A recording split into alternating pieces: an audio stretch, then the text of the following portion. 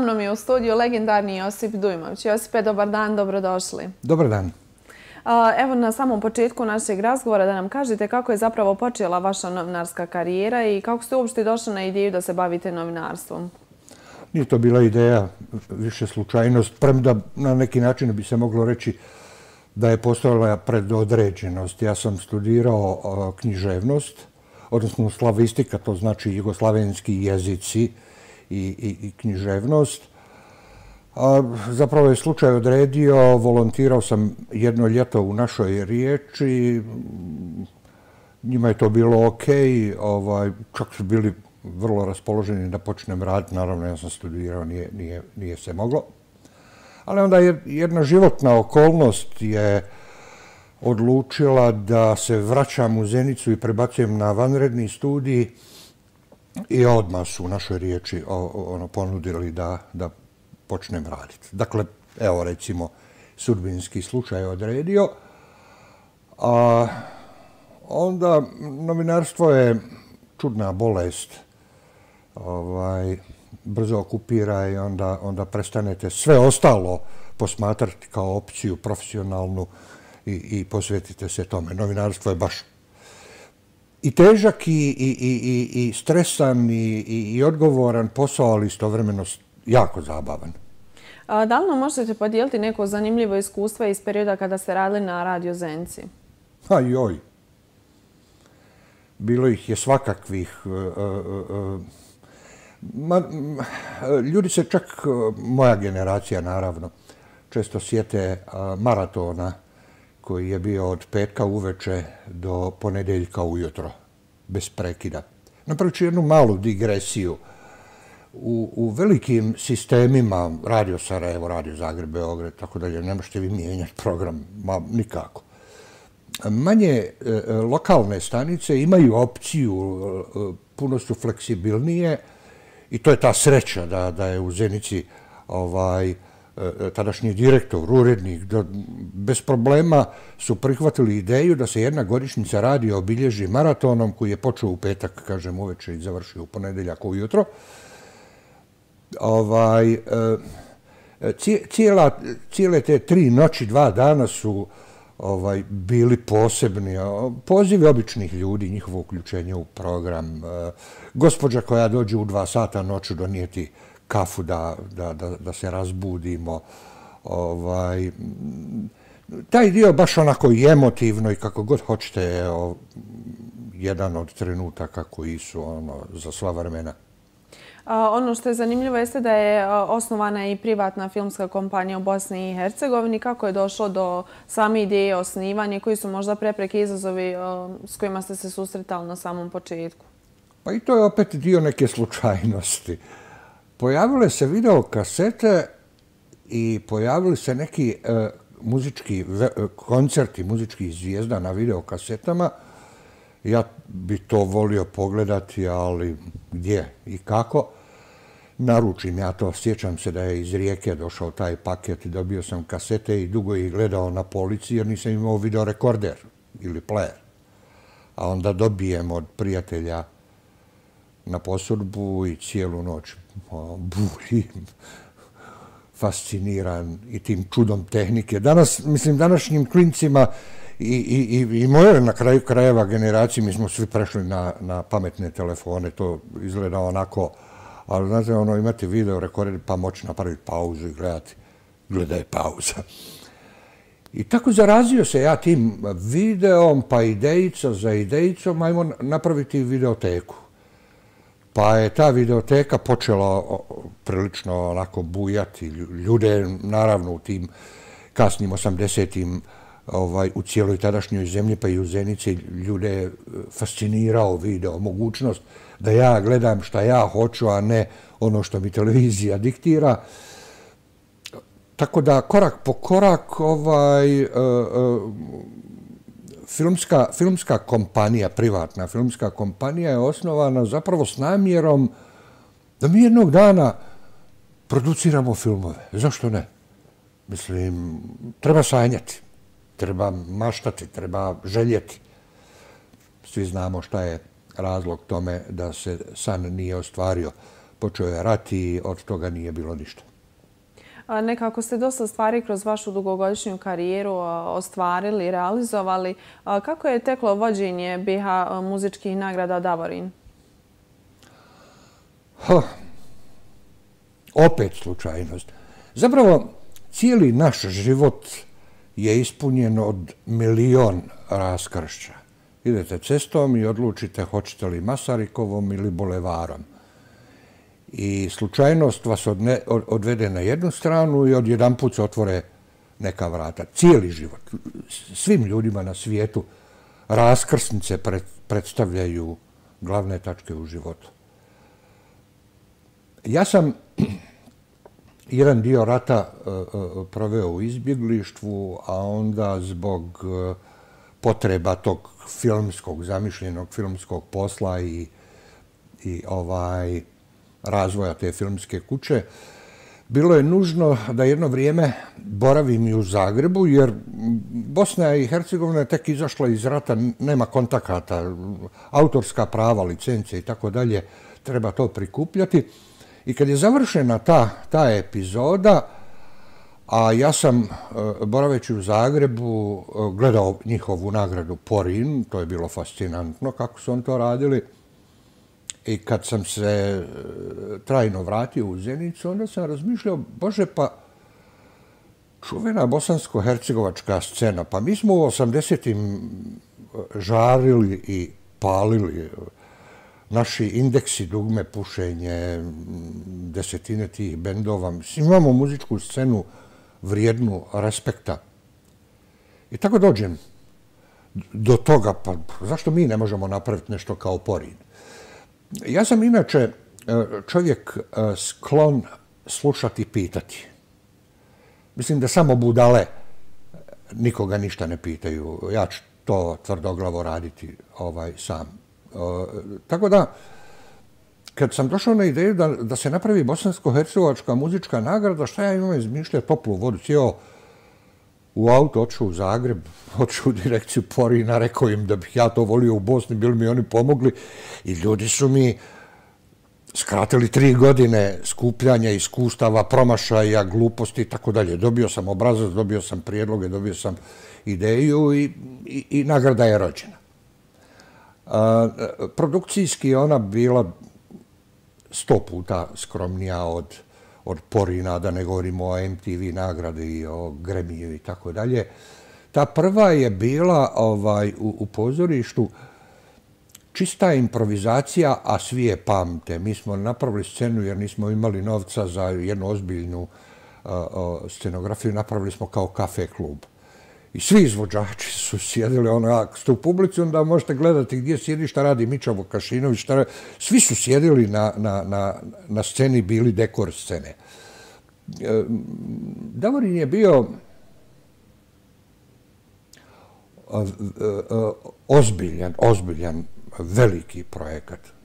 E sad, nažalost, poput puno toga u našoj zemlji, što nažalost, kad je kultura u pitanju, ovaj, neštima u finansijskom smislu, uspjeva opstajati evo, Sarajevo Film Festival. Ali većina stvari nije uspjelo čak ni obnavljanje šlagira sezone legendarnog. Tako da i Davorin je počeo zapinjati na, na financijama. Nisto bile nikakve ogromne financije, nego jednostavno imate te ljude koji odlučuju o novcu, kojima je svejedno hoće li u našoj zemlji biti program u kojem će biti stotinu velikih slavnih muzičara iz cijelog regiona. Počevši, evo, da krenemo od najpopularnijih Dine Merlina, pa idemo dalje, jel? Do alternativaca, Laka je prvu nagradu dobio na Davorinu. E, dakle, bilo je nešto stvarno nevjerovatno, ali nažalost ovaj, propalo je zbog toga što jednostavno od ministarstva recimo dobijete 5000 maraka, a dolazi vam 60 izvođača iz od Ljubljane do Skoplja, Vlatko Stefanovski i Josip Alis. S tim parama im ne možete platni benzin. Ugasila se, jednostavno se ugasila. Danas mnogi pitaju pa zašto, pa bili se mogla obnoviti. Ma nije ju teško obnoviti, ali nije sigurno da će se moći finansirati. To vam je da napravim jednu digresiju sa rock koncertima Radio Zenice. U 80. godinama Radio Zenica je bila jugoslavenski fenomen. E, tvrdim, i to je lako dokazati, da je Radio Zenica u 80. godinama bila najbolja lokalna radiostanica u državi. Slijedom toga smo imali taj maraton, izbor sto vječnih. E, prve live noćne programe koje nije imalo ni Radio Sarajevo, uživo noćni program. I imali rock koncerte. Oni koji se bolje razumiju, koji bolje prate ovaj e, rock scenu, znaju da je krajem 70-ih postojao Boom festival, putujući bio je u Ljubljani, pa u Zagrebu, pa u Beogradu, u Novom Sadu. I, i on je završio. Okupljao je bendove iz cijele tadašnje Jugoslavije. Veliki boom festival. Ono, podsjećalo je na, na slavni Woodstock, samo je bio dvoranski. On je ugašen, a Radio Zenica pravi prvi stadionski rock koncert. U 80. godinama to je bio jedini otvoreni, jel, pod otvorenim nebom, open air uh, rock festival, ako već hoćemo ovaj, uh, to tako nazvati, u Jugoslaviji. Jedna mala radio zenica. Mislim, ono, ljudi koji su u, u tim okvirima ovaj, anonimni, jel? Tako da, ovaj, kad, a zašto sam to spomenuo, kad danas čujem e, ljude, jo, je bilo divno, ono, na Bilinom polju, nas 8000, 10.000, sviraju nam najslavniji jugoslovenski rock bendovi, svi zenički bendovi nastupaju, deset sati programa, pa to je bilo senzacionalno, bi se to moglo obnoviti, ne bi. Realnost je, da ne objašnjavam zašto. Ali mi je žao da ovaj ipak neke stvari se ne mogu ovaj barem u, u modificirano raditi, ali bože, to je realnost što sad Ono što je tekako bitno da spominjemo jeste i vaša biografija koja nosi naziv Indeksi u inat godinama i fotomonografija Zenca Blues od Perviza do Areni. Kako je došlo do samog nastanka oba ta vaša dijela? Pa knjiga je bila dio cijelog, cijele te priče o nagradi Davorin. Ovaj, e, jel, kroz tu nagradu stalno se slavi ne samo Davorin, indeksi se zapravo slave i trofej je bio tako urađen i, i radili. Recimo, prvi, prvi Davorin koji je rađen u Zenici, opet, e, ja, ja govorim samo o činjenicama, ali a, negdje mora ostati zabilježeno u čemu je Zenica bila prva, eto, sa tim rock koncertima. Omladinski hor Zenica sa Milenkom Karovićem u organizaciji nagrade Davorin, direkcije Davorin, pravi prvi tribut koncert u, u sad već ne Jugoslavije, ali na prostoru bivše Jugoslavije. Kasnije su krenuli tribut u EKV, tribut u Azra, ali Zenica je imala prvi kalendarski, prvi tribut koncert na ovim prostorima. I to kakav? neponovljiv, nikad se više takav nije dogodio, hor ga izvodi. Tribut za indekse. Imali smo, pored solista hora, imali smo Dadu Topića i Zdenku Kovačičak, ali pokušajte zamisliti čut scenu stotinu djevojaka i momaka i mali dječji hor koji se uključuju u pjesmi da sam ja netko, stotinu njih u aranžmanu horskom pjevaju indekse. To je senzacionalno. Dobro radili smo puno tih ovaj e, naših zeničkih stvari. Mislim, mislim čak u stvari da se Zenica ne zna dovoljno ponositi s tim. dakle, kao dio tog Davorina onda priča o knjizi, o indeksima, jer indeksi su najnepoznatija slavna grupa bili do tog vremena. O indeksima se skoro ništa nije znalo. O njima nikad ništa ozbiljno nije napisano. Koga god pitate jesu li indeksi veliki, da, veliki. Zašto? Pa veliki su. Pa dobro, zašto? Pa imali su dobre pjesme. Pa imali su i drugi dobre pjesme. Treba dati obrazloženja dokumentirana. I tako je nastala ta knjiga koja jeste dokazala zašto su bili indeksi veliki, dakle vrlo konkretno sa vrlo konkretnim primjerima, pokazala gdje su indeksi bili prvi na ovom prostoru. I ja sam na tu knjigu ponosan i svi muzički znalci e, su je uvrstili među najbolje muzičke biografije napisane ikada na, na, na, na našim jezicima. E sad, drugi dio pitanja je e, e, bio e, film o Zenici, čini mi se, jel? Ne, fotomonografija. Ali dobro, dio toga je i film o Zenici. Opet ista stvar. Ja nekad, mislim, hrlim, jurim, lijevo, desno, gore, dole.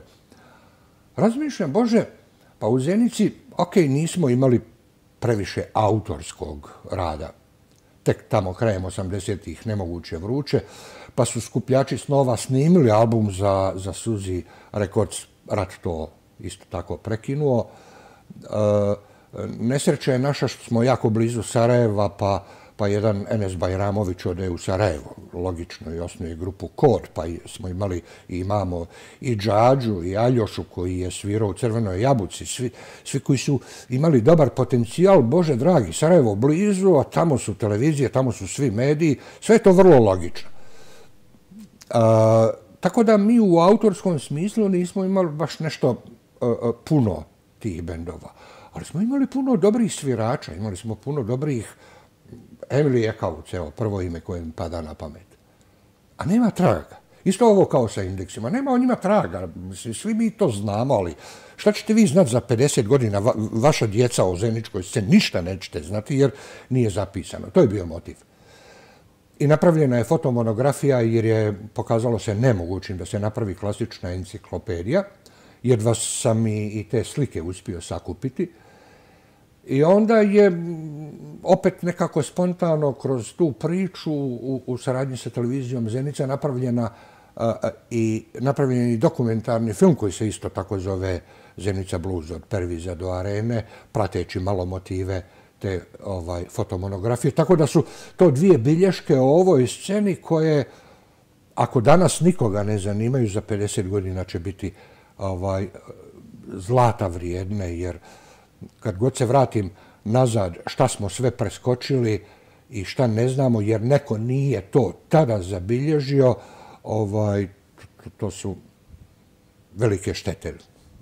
A, još nešto što je uvršteno u vašu raznovrsnu biografiju jeste i roman Krici iz Dubine. Šta nam možete reći o tom romanu? Koji su, koja je glavna tema? Koji su likovi? Ja ću opet o motivaciji. Rekao sam već da sam studirao književnost, prije toga bio pasionirani čitalac. Novinarstvo u početku, dok sam se bavio pisanjem, je pisanje. Imao sam želju, ali ne i dovoljno vremena ili, ili dovoljno prilika. Bila je jedna mala epizodica kada je tadašnji direktor pozorišta Radovan Marušić, eto opet idem na to prvi, Radovanu Mariš, Marušiću je palo na pamet da Zeničko pozorište uradi prvu ekološku predstavu u Jugoslaviji tadašnjoj. I napravljena je prva ekološka predstava.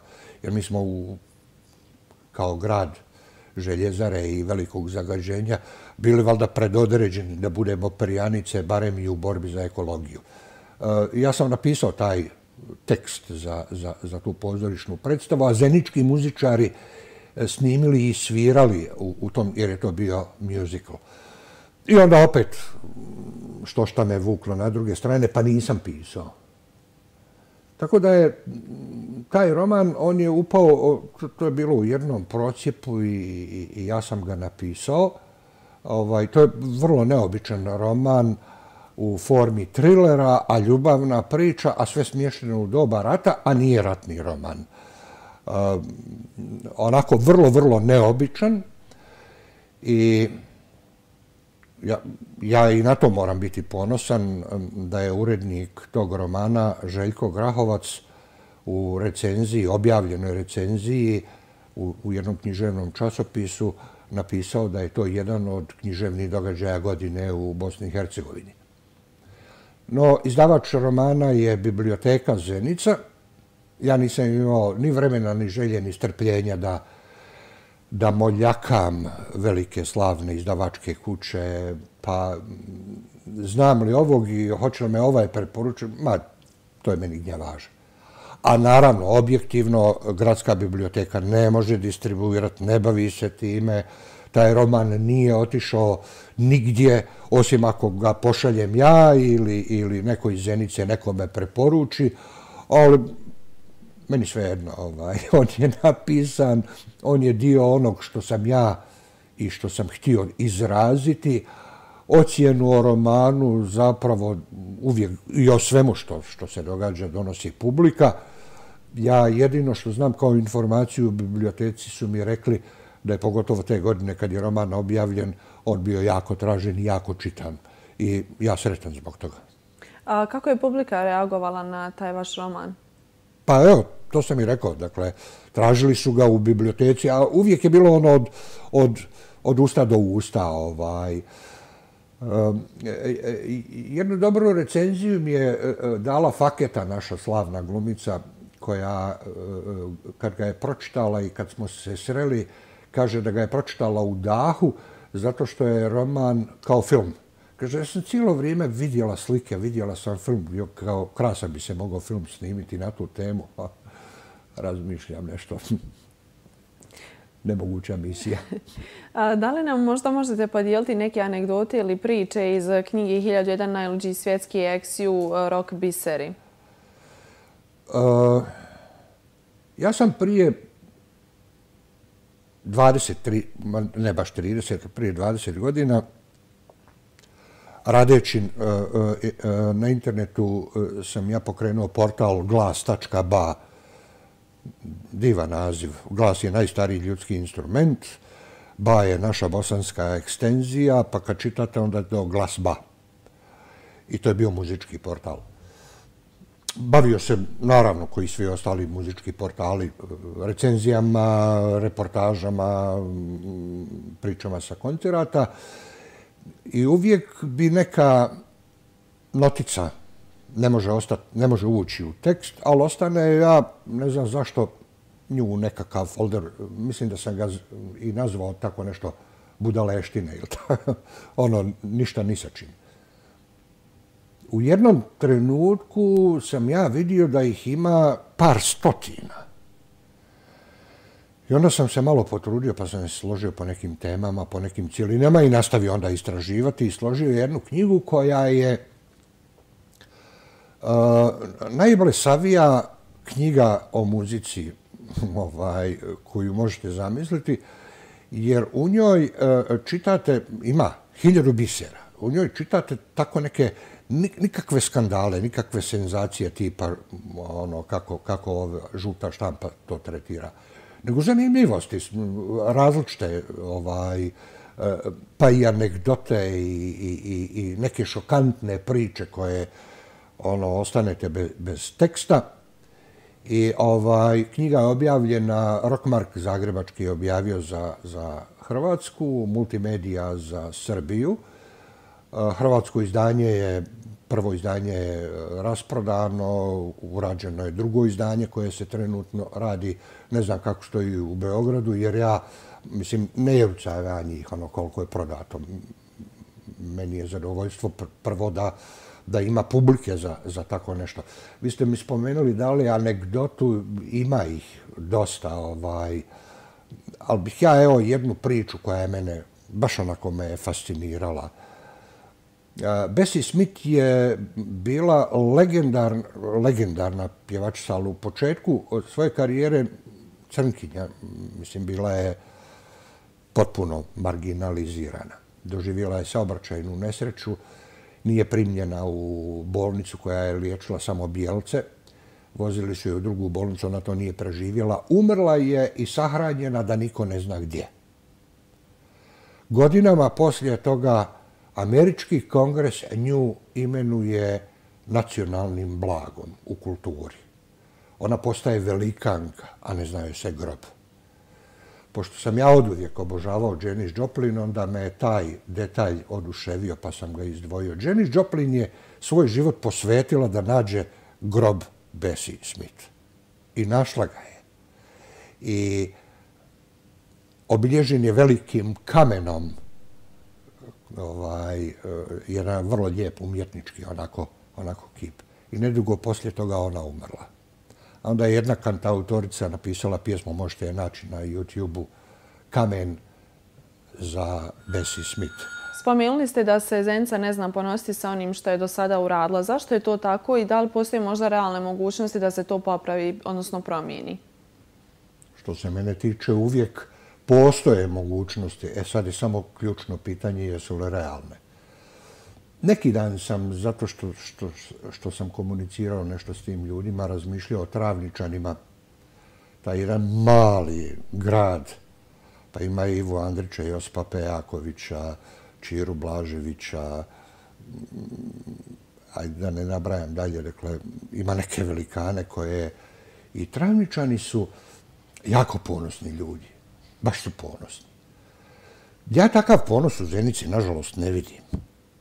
Da li je on rezultat onog e, čuvenog čuvenih migracija jel, nakon, nakon drugog svjetskog rata, kad je odjedan put počela buktati željezara, pa u jednom trenutku, zamislite vi sada, 24.000 radnika radi u željezari. Mislim, to je, to je moralo doći sa svih strana. Dolazile su, desetine hiljada ljudi su dolazile. Ali ne vjerujem, ne vjerujem jer znam zbog jedne druge priče koju ovaj koja je vezana uz taj moj rad da svi ti brojni došljaci koji su došli u Zenicu, koji nisu rođeni u Zenici, ali su došli trbuhom za kruhom, vole Zenicu. Vole. Imam svjedočenja njihova. Oni su se zaljubljivali u Zenicu. Zenica je Eh, prvenstveno kad je pogledate vizuelno sa bilo kojeg brda sa strane, kad pogledate Zenicu i one, one, onu njenu kifla, krivinu i, i kako ona složena. I, Zenica je preljepa. I Zenica toliko ima, imali smo sreću sa nekim arhitektima prije 50-60 godina i, i nekim ljudima koji su upravljali gradom, ovaj, da se e, pridržava te neke vizure, da, da se Kamberviće polje održava, pa Kam, uh, e, New York ima Hyde, on, bože, London ima Hyde Park, New York ima Central Park. A mislim, neko ko bi, ko bi krenuo s bagerom na Central Park, tog trenutka se može pozdraviti sa svojom političkom ili kakvom god drugom ovaj, karijerom. Naravno, nikome ni ne pada na pamet, to je biser. Uh, u, u, toj bivšoj Jugoslaviji imate megapolise, Zenica im nije ni do koljena ako govorimo o Beogradu ili o Zagrebu. Pa i Sarajevo je puno već. Pogledajte, Sarajevo nema nešto poput Kamberovića polja. Mi imamo tri rijeke i imamo Kamberovića polja. E, ja sam, sam iznova sam se zaljubio u Zenicu, e, a mogu kasnije spomenuti zašto. Zenica je stvarno predivan grad ali znaju ljudi biti zenički često teški. To je možda problem Zenice. E, Zeni, e, treba se ponositi e, tuđim uspjehom. Ja moram spomenuti, jer, jer volim tog čovjeka, prvenstveno ga volim i kao čovjeka, ali moram spomenuti Selvedina Avdića. Možda vam njegovo štivo ne odgovara. Okej, okay, ne volim ni ja, ovaj, ne znam, kafku. Eto, bez veze. Ali na 16 jezika su njegova dijela pre, prevođena. On će prvi reći da nije on Ivo Andrić, ali on je danas zenički, pa evo, reći Ivo Andrić. Moderan je, nema to veze, mislim, nije poređenje baš prikladno. Ne znamo se ponositi kroz... Ja ne mogu ići u, u, neke druge sfere, ovaj, a samo znam da imamo privrednike, imamo Samira Lemeša kao, kao naučnika. Mislim, imamo ljude koji su, koji su po cijelom svijetu cijenjeni. Nekako kao da, kao da još uvijek živimo u, u onom dijelu, ona, ma šta će on meni, ja njemu čvrge pucao dok je bio mali. Ma dok, ok, pucaj mu i sada čvrge. Ne moraš ga ni voliti. Ali to što on radi je vrijedno spomena.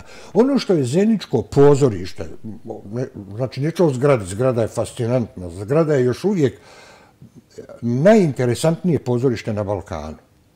Ali šta je pozorište radilo, ansambl pozorišta šta je radio u 80. godinama? Pa to su bila mala čuda. Pa Zeničko pozorište je više bilo dosadno sa sterijnim nagradama, to je glavna nagrada u pozorištu. Jedan Ljubomir Perčinlić koji izlaže na venecijanskom bijenalu i, i za kojeg e, znalci znalce likovne umjetnosti kažu da je on patentirao neku vrstu boje i kompozicije i tako dalje. Joj, mogao bih nabrajati ovaj, koliko god hoćete u ovom svijetu. Pa na kraju krajeva, evo, ići ću i u, i u tom privrednom, ne, neki Alois Derling u vatrostalnoj patentira neke, neke stvari koje se u svijetu primjenjuju. I stalno se, ja sam suočavam s tim, zašto se ne znamo puhati, da budem, jel, ono, u slengu.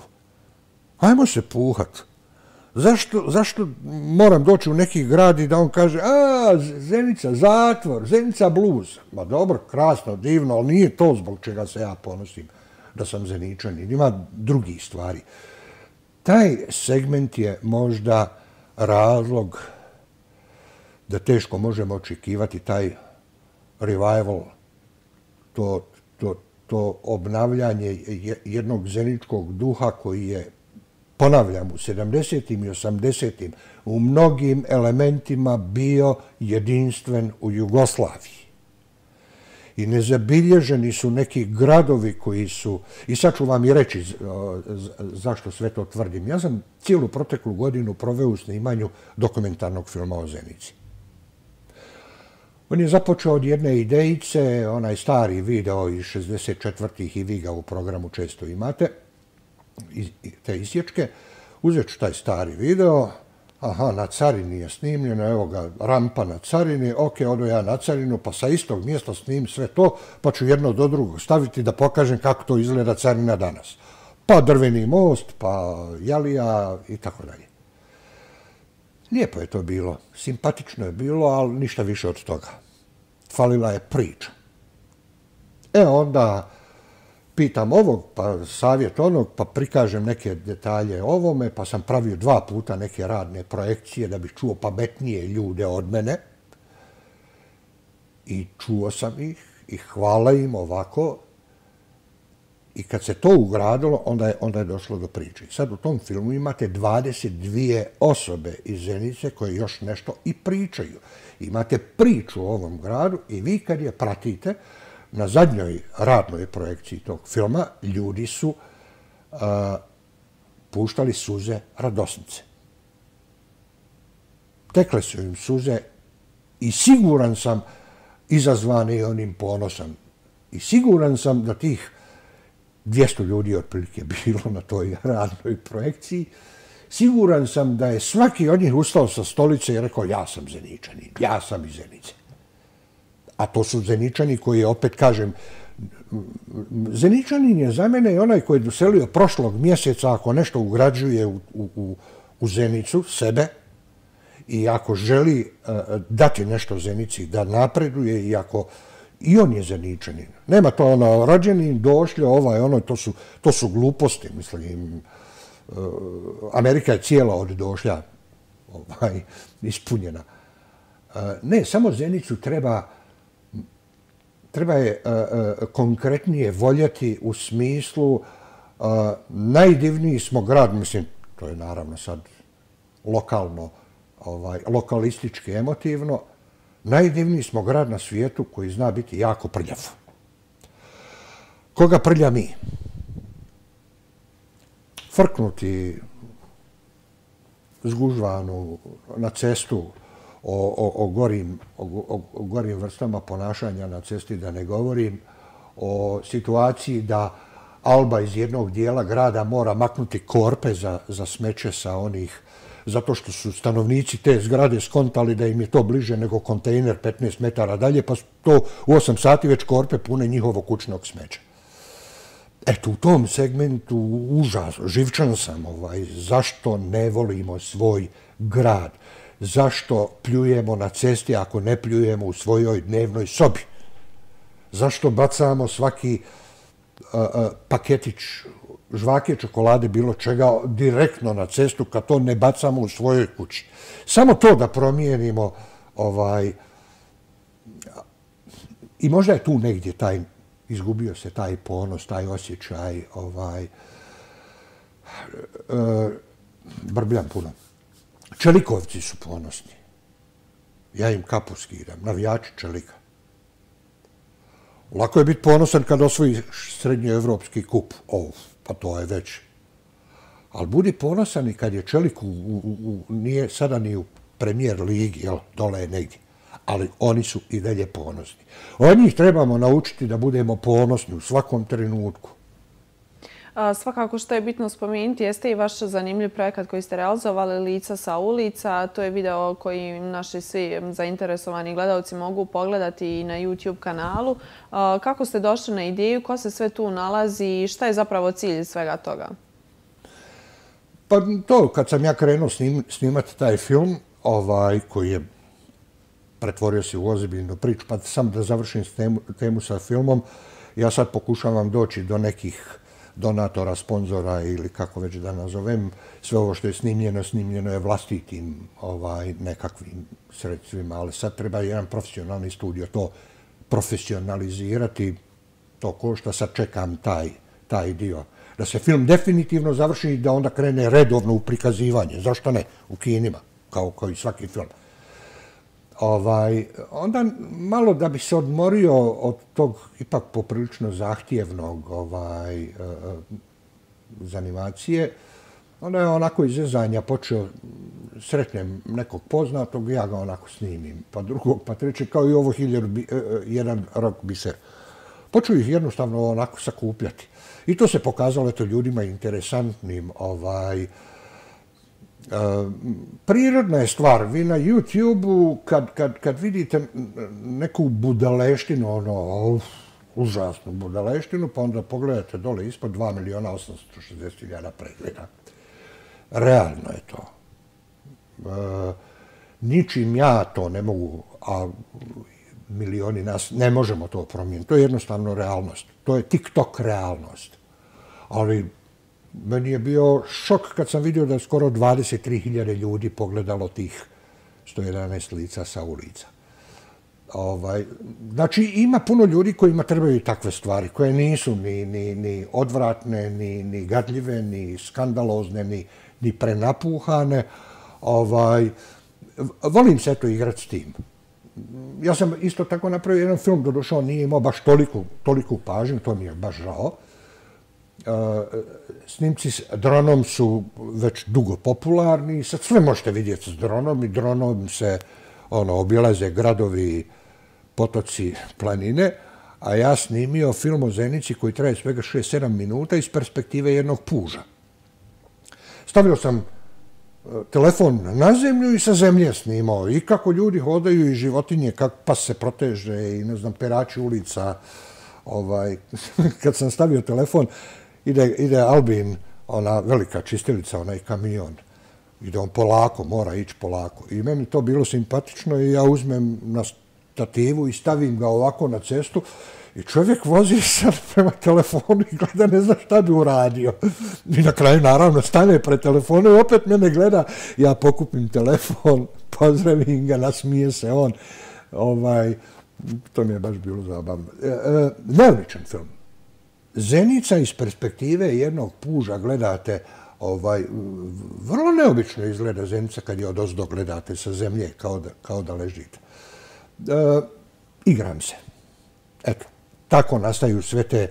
O, mislim, ja kad, kad, kad se vratim nazad, pa mislim da je moj život stvarno ono blagoslovljen sam koliko je ispunjen ja nemam nikakvu potrebu ni da se dokazujem, ni da radim za neka priznanja, za neke nagrade, za trofeje, čak ni za neke honorare e, kakve vi dobijate ako živite u Njujorku. Njujorčanin bi za, ovo, za ovog puža dobio sigurno strašan honorar.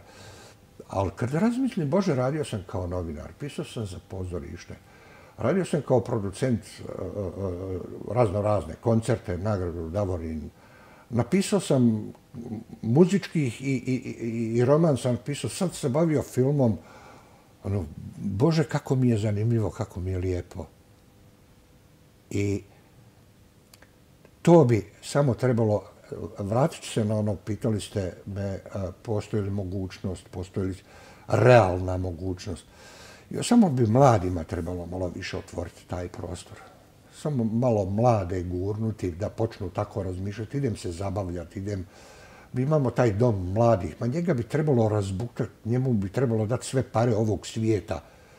Rade oni već što šta u tom domu mladih tamo na, tamo na Jali, ali, ali njima treba dati milion, majko mila. Pustiti djecu da, da buknu.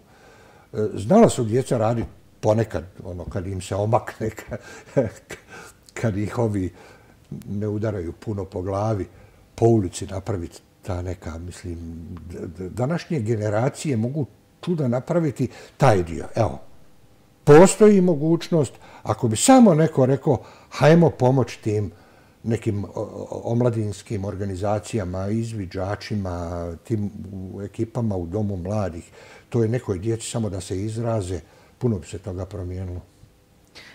Kakvi su vaši planovi za budućnost?